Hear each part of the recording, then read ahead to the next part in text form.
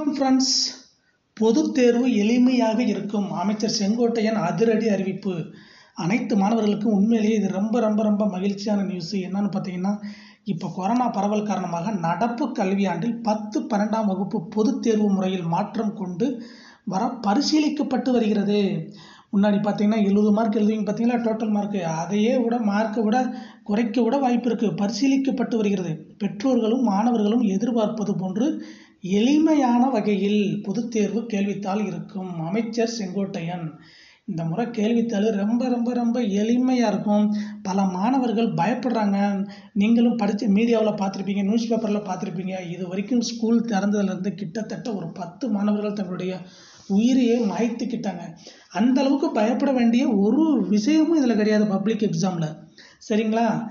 சும்மா ஒரு நீங்கள் எழுதிட்டு வந்தீங்கன்னா ஆசிரியர்கள் சொன்னதை காதில் வாங்கி எழுதிட்டு வந்தாலே கன்ஃபார்மாக உங்களால் மார்க் வாங்க முடியும். எளிமையாக நீங்கள் தேர்வு அடைய முடியும். இப்போ நமது அமைச்சரும் சொல்லிட்டாரு. நீங்கள் ரொம்ப எளிமையாக உங்களுடைய தேர்வையை நீங்கள் எழுதலாம். அந்த மாதிரி தான் கொஸ்டின் பேப்பர் எடுக்கப்படும். அந்த கொஸ்டின் பேப்பர் மாடல் கொஸ்டின் பேப்பரும் அனைத்து மாணவர்களுக்கும் காண்பிக்கப்படும்.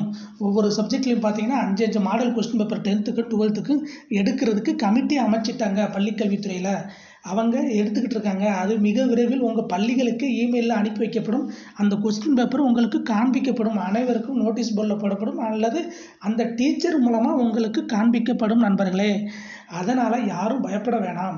இதனால் பள்ளிக்கல்வித்துறை சம்மந்தமான வீடியோக்களை உடனுக்குடன் பெற நம்ம சேனலை சப்ஸ்கிரைப் பண்ணுங்கள் வீடியோ பிடிச்சிருந்தா ஷேர் பண்ணுங்கள் லைக் பண்ணுங்கள் கமெண்ட் பண்ணுங்கள் நன்றி வணக்கம்.